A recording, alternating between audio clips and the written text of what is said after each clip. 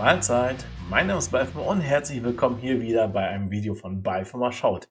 Meiner speziellen ja, Reaction-To-Reihe, in der ich immer wieder Musikvideos und auch Songs mir angucke, anhöre, die ich kenne und natürlich aber auch äh, Songs mir und Musikvideos vor allen Dingen angucke, die ich nicht kenne. Sehr häufig auch mit Live-Aufnahmen, aber auch Studioaufnahmen ist quasi alles dabei. Heute gucken wir wieder mehr oder weniger einen Vorschlag von euch. Der kam von euch, den äh, kenne ich gar nicht. Ich kenne die Band nicht. Ich weiß nur, in welche Richtung es geht. Es ist eine Art J-Rock, äh, J-Metal. Das heißt, ihr habt mir unter ähm, Baby Metal mehrere Vorschläge gemacht und ich habe jetzt gesagt, so, ah, so nach und nach werde ich jetzt mal die Bands abarbeiten. Mache natürlich immer wieder noch zwischendurch meine deutschen Projekte und den normalen Metal etc. dabei und äh, hoffe, dass euch der Mix im Allgemeinen gefällt. Ähm, mir gefällt er, sonst würde ich es nicht machen, aber ich hoffe, euch gefällt es auch. Von daher gesehen würde ich jetzt einfach sagen, lasst uns doch einfach mal bei Bandmate und Thrill reinschauen, denn ich kenne gar nichts davon. Ich bin echt gespannt. Ich weiß, dass jetzt mittlerweile, dass es äh, da im japanischen Raum halt sehr viel auch diese ähm, Kostüme bei den, gerade auch bei den weiblichen, rein weiblichen äh, J-Metal ähm, Bands gibt. Und in Europa habe ich so ein bisschen das Gefühl, die werden nicht so richtig wahrgenommen, nicht so richtig ernst genommen, weil hier in Europa die Metal-Bands alle oder auch im amerikanischen Bereich ja mehr so ähm, Männerdomäne ist. Da sind auch Frauen, aber hauptsächlich sind es Männer mit langen Haaren, manchmal auch kurze, aber auch viel in Leder, in ähm, andere Sachen. Äh, ja, äh, Kettenleder, so Chains and Leather and Co. Und ähm, diese Kostüme passen so nicht in das europäische Metal-Bild. Das meine ich jetzt nicht äh, böse, sondern das ist so, man ist ja, man kennt ja immer das, was man kennt und alles andere ist erstmal komisch. Und ich glaube, das ist auch das, wieso diese J-Metal-Bands in Deutschland nicht so richtig, nicht so 100% ernst genommen werden. Das äh, Bild kommt mir so langsam, weil ähm, man hat dann doch auch, ich sag mal in Anführungszeichen, Vorurteile. Ach, das sind eh nur kleine Mädchen, das sind Püppchen, die können ja eh nicht richtig spielen, die sind eh nur gecastet und, und sowas alles. Dass man tatsächlich dieses dass sich die Bands auch Themen aussuchen oder bekommen, wie auch immer, ähm, dass man aber durch dieses Vorurteil die wahre Qualität der Musiker dahinter nicht erkennt, finde ich schade. Deswegen habe ich die jetzt auch fest in meine Rotation aufgenommen und mache natürlich auch den normalen Metal wie immer auch weiter, einfach um auch anderen Leuten zu zeigen, wie gut diese Bands sind und dass die nicht schlechter oder besser sind als andere Bands, sondern einfach nur vom kulturellen Hintergrund etwas anders geprägt sind. So, sorry, genug der langen Vorrede. Ich wollte da einfach mal das so erzählen, was sich mir so in den letzten Wochen und Monaten so, so dargestellt hat. Und jetzt kommen wir zur Musik. Sorry. Ich erzähle immer so viel. Ähm, ja, so, Achtung, Musik, let's go.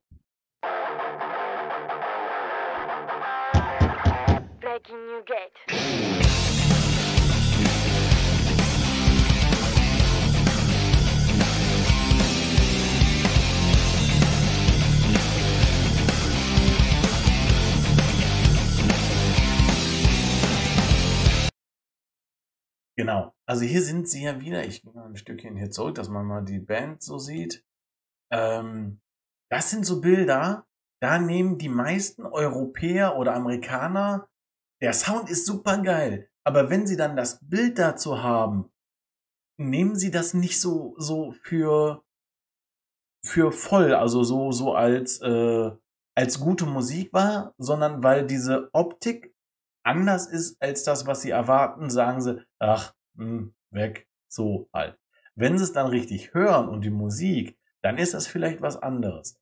Aber jetzt so, wenn man das sieht, da kommt so ein Video, denkt man sich, ach, ging mir anscheinend selber auch so wie viele Jahre, weil ich diese Musiksparte jetzt erst jetzt für mich entdeckt habe und ich bin echt begeistert und ähm, ja, ich werde mich da auf jeden Fall noch weiter äh, umschauen und hoffentlich noch ein bisschen mit den Vorurteilen aufräumen können. Denn das sind tatsächlich, was ich jetzt so gesehen habe, hervorragende Musiker, die sowohl Instrument äh, als auch eben Stimme und Co. alles gut beherrschen. Und alles andere dahinter weiß man eh nicht. Das ist Sachen der Plattenfirma, Unterstützung. Da blickt man eh nicht durch als normal, als normaler Mensch. Aber äh, musikalisch allererste Sahne. So, und jetzt weiter. Ähm, erste musikalische Eindruck war auf jeden Fall super.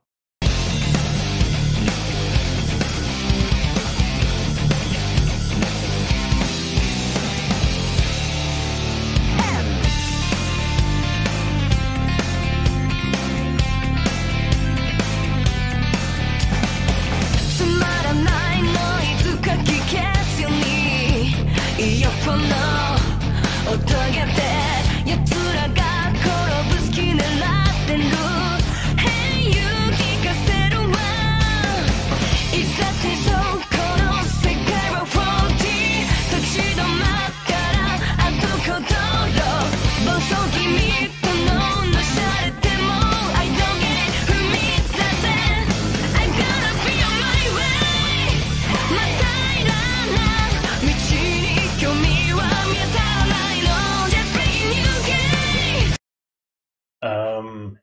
Gesangstechnisch sehr cool. Ähm, ich musste gerade noch mal so ein bisschen justieren, damit ich es auch richtig gut höre.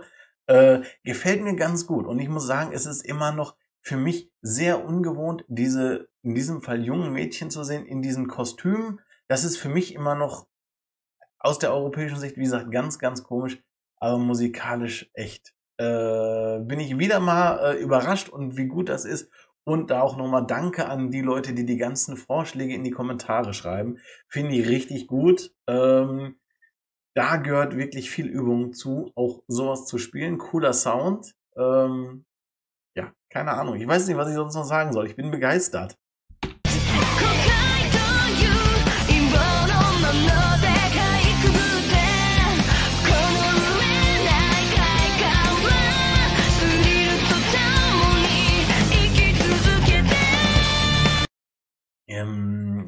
Ein Stück zurück. Hier fand ich sehr cool diesen Part mit den äh, zwei Stimmen, die, diese, ich sag mal, Kanon-Gesang, also ne, die Frontsängerin und im Hintergrund singt die andere ähm, ein bisschen was anderes. Äh, wie gesagt, finde ich cool, fand ich echt cool. Ich mache nochmal hier das Stückchen zurück.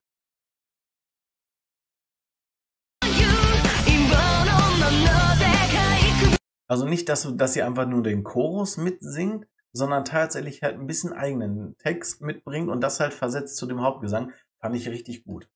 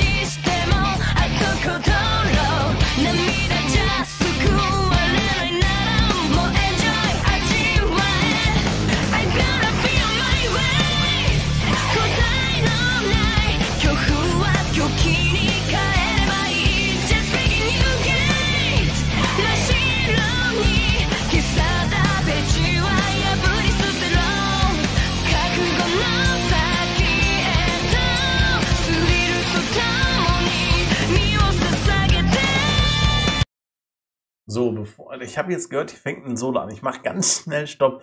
Ähm, wie gesagt, bis jetzt muss ich sagen, von dem Lied gefällt mir dieser Part, wo die beiden, also gesangstechnisch, wo die beiden so ein bisschen versatztechnisch singen, gefällt mir richtig, richtig gut. Ähm, hat mich, äh, holt mich richtig ab. Und äh, ansonsten natürlich ein sehr solider äh, Metal- bzw. Rock-Song. Und äh, ja, äh, ich bin jetzt mal gespannt auf das Solo, was da kommt. Es hat sich angehört wie ein Bass-Solo. Ich bin gespannt.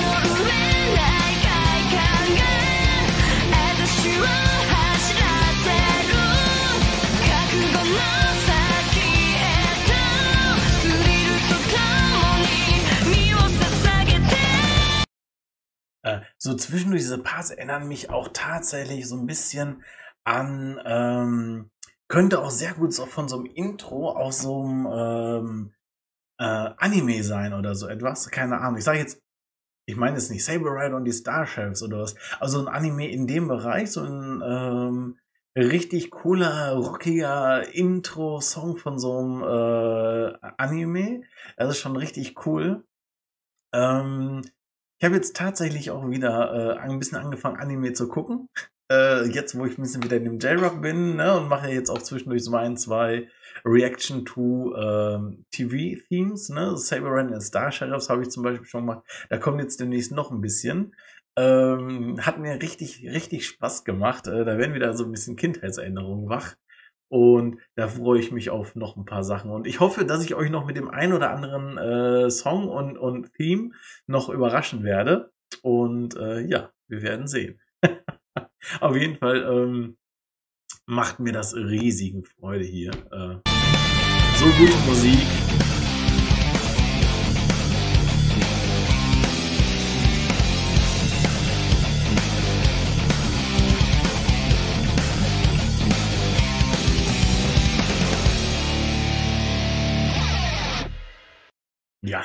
Absolut großartig, äh, ganz toll. Ähm, ich muss mich immer noch ein bisschen an die Optik gewöhnen. Ich glaube tatsächlich, was vielleicht in Japan ein Vorteil ist, so einen Look zu haben, ist in Europa und in Amerika eher ein Nachteil. Ähm, das sage ich jetzt ganz, ich versuche es ganz wertfrei zu sagen. Ähm, da ist man, man hat, glaube ich, mehr so das Vorurteil, ach, das sind so kleine Mädchen in Schuluniformen, die können das eh nicht. Dass da richtig eine harte Schule hinterhängt und dass die stundenlang, Wochen, monatelang dafür trainieren und üben und Instrumente genauso gut oder besser beherrschen als die meisten Metaller. Glaube ich und sei mal dahingestellt. Aber man hat ja immer, man ist einfach halt optisch getrieben. Und ich glaube tatsächlich, wenn die nicht so thematisch angezogen wären, sondern relativ normal, ich sage mal auch ganz normal in Hose etc., würden sie, glaube ich, in Europa und in Amerika einen besseren Stand haben. In den anderen Kontinenten kenne ich mich nicht so aus, wie es jetzt mit Afrika oder Südamerika oder so ist. Aber das ist jetzt einfach nur meine Vermutung und da möchte ich auch keinen vom Kopf stoßen. Ähm, aber das ist einfach das, was ich vermute. Und das fehlt mir auch manchmal so ein bisschen an den Leuten, die Reaction 2 machen. Das ist jetzt ein bisschen Hätte ich vielleicht auch vorher sagen müssen, aber manchmal fehlen mir so ein bisschen Ecken und Kanten an den Leuten, die Reaction Tour machen. Wenn, dass die nicht über solche Themen reden, sondern nur so, ah, oh, amazing. Ich finde, man kann als Reactor auch mal eine eigene Meinung haben und sagen, bin ich gut, bin ich nicht so gut oder ich vermute das so und so. Also ähm, das mache ich auf jeden Fall. Ich werde auch dabei bleiben, äh, bei meiner persönlichen Meinung und auch immer wieder solche ja, was heißt politischen Statements oder, oder diese Aussagen treffen, weil ich einfach finde, das ist meine Ansicht, das fällt mir dazu ein, wenn ich das sehe und das ist halt meine Reaktion darauf und nicht nur ah, oh, amazing. ich hoffe, ihr könnt mir folgen. Ist jetzt wieder, mal wieder äh, habe ich einen Redefluss gehabt und habe ziemlich ausgiebig geredet, aber es hat mir wie immer Spaß gemacht. Ich hoffe, euch hat es auch Spaß gemacht. Ich schaue demnächst wieder rein, wenn ich dann wieder Sachen aus der ganzen Welt reacte und natürlich meinen Senf dazu gebe. Äh, ich bin soweit jetzt raus. Vielen Dank an die äh, Empfehlung und ich bin gespannt auf die nächsten Empfehlungen, die da kommen werden. Ja, soweit, so gut. Ich wünsche euch noch einen schönen Tag und ja, das war's. Euer Balfemore.